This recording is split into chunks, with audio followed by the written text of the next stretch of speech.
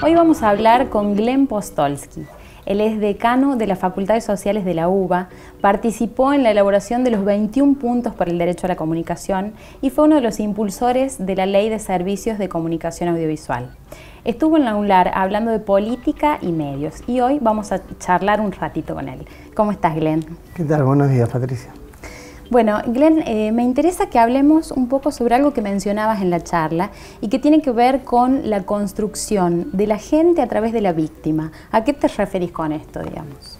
Mira, podemos ver cómo opera el dispositivo mediático comunicacional, no en términos de decir un programa, un periodista, sino en general, cómo opera todo el sistema, los canales de aire, los canales en cable, las radios y todo el tiempo hay una interpelación a las personas, a cada uno, a los individuos, en donde constantemente se lo está alertando sobre los males que lo rodean, un corte de calle, un paro, pero todo en un relato en donde no se toma una densidad histórica, sino se toma el hecho, el acto puntual, y cómo eso va afectando y va agradando su vida cotidiana.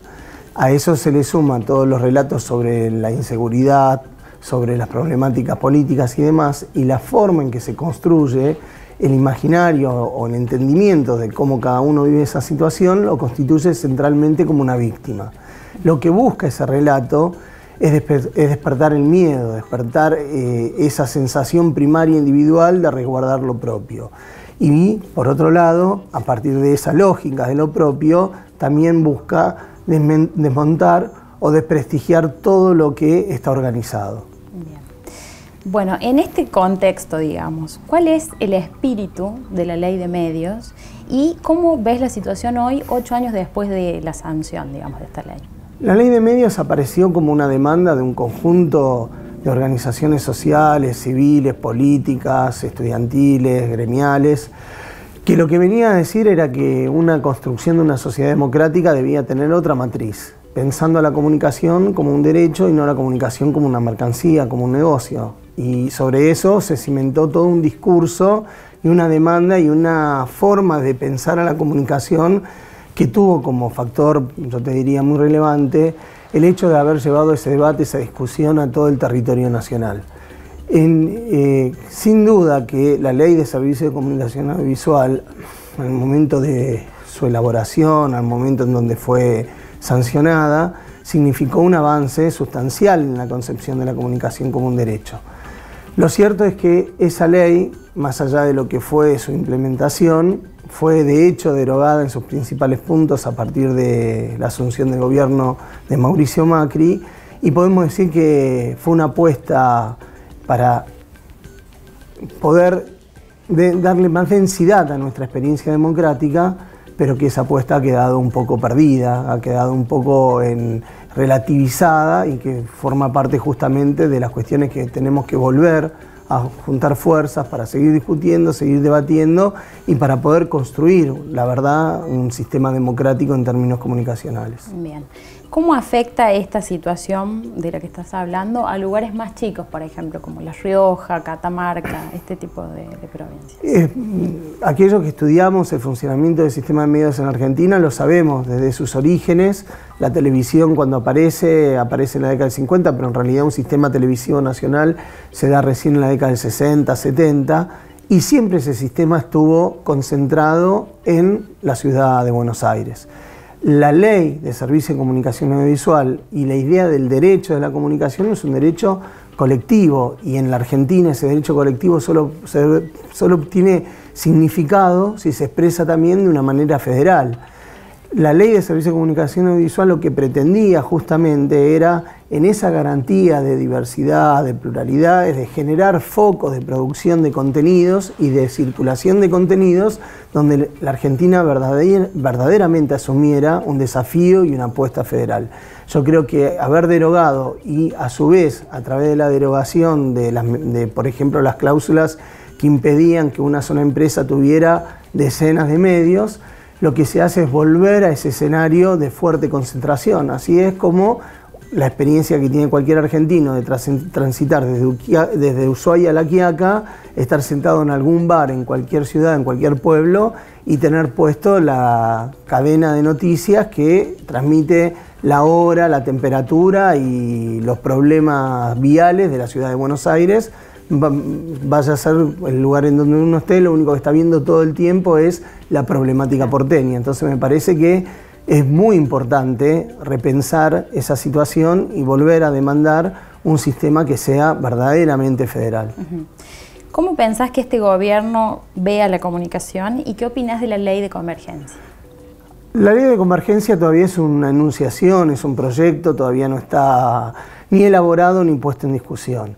Yo creo que este gobierno sobre el sistema de medios tiene una única definición que es la de favorecer a los actores más concentrados y de alguna manera hasta podríamos pensarlo en una especie de eh, alianza que viene del escenario preelectoral, ¿no? porque fueron eh, las principales figuras del actual gobierno fueron motorizadas y muy apoyadas por parte de esos propios medios concentrados.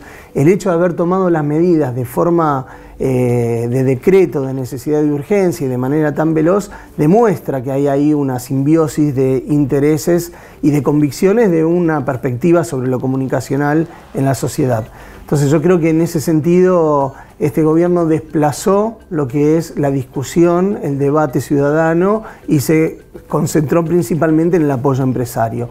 Y sobre la, figura de una ley de la convergencia, aparece más como una especie de, promesa tecnológica que de realidad, si uno ve cómo se regulan los sistemas, tanto de telecomunicaciones como de radiodifusión, en el ejemplo norteamericano, europeo y demás, las regulaciones pueden ser muy amplias, pero claramente quedan segmentadas porque la forma de interacción no es igual en la zona de las telecomunicaciones que en la radiodifusión. En la radiodifusión el componente central es la condición de ciudadanía es la construcción de una ciudadanía comunicacional.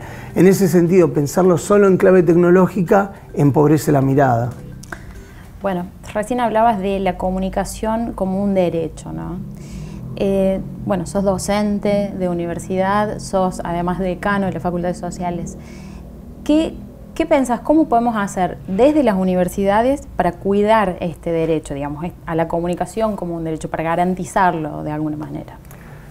La idea, el, concepto de la educación como un derecho humano fundamental apunta a que toda sociedad debe tener condiciones para que todos los sujetos sociales tengan visibilidad, puedan ser oídos, puedan manifestar sus demandas y en ese proceso de articulación de esas demandas llegar a las mejores decisiones colectivas. Para que eso sea posible en una sociedad como la nuestra, lo que hay que tratar es de traspasar lo que es una barrera, que es la barrera de quienes tienen el capital necesario para imponer formatos, géneros y discursos en la sociedad. Por eso el componente muy disruptivo que tenía la ley de servicio de comunicación audiovisual de constituir una zona de emisores que sean emisores sin fines de lucro, que sean las organizaciones de la sociedad civil, las ONG y las universidades. Poder construir un sistema universitario sólido a nivel nacional, hay experiencias ya incipientes, la Renau tiene muchos años, eh, Aruna tiene muchos años, pero construirlo como un sujeto comunicacional visible debe ser una de las principales apuestas del sistema universitario. Eso permitiría agregar una voz que tuviera una perspectiva, como es el mundo universitario, muy plural, muy plural en términos temáticos, en términos ideológicos, en perspectivas de género, y eso sería muy enriquecedor para la sociedad. Muchísimas gracias por este ratito, Glenn. Te despido y nosotros nos vamos a una pausa y volvemos con el último bloque.